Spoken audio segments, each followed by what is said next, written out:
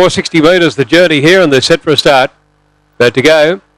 Racing. The Punk Inspector slow to begin it out the back two many Paws away quickly on the inside. Limburg's Pride. Looming up very quickly though. Punk Inspector around the outside is going to charge the lead. And coming off the back straight, the favourite goes clear. Punk Inspector five lengths in front. Limburg's Pride. Give about five or six further back then Kankalana followed by Many Paws and Share the Love for home though. Out in the centre, a Punk Inspector's clear. Coming down the outside again, Limburg's Pride followed by Kalana and Many Paws. An easy one for Punk Inspector though. Uh, second Many Paws just over Kalana. Followed then by Limburg's Pride and Share the Love.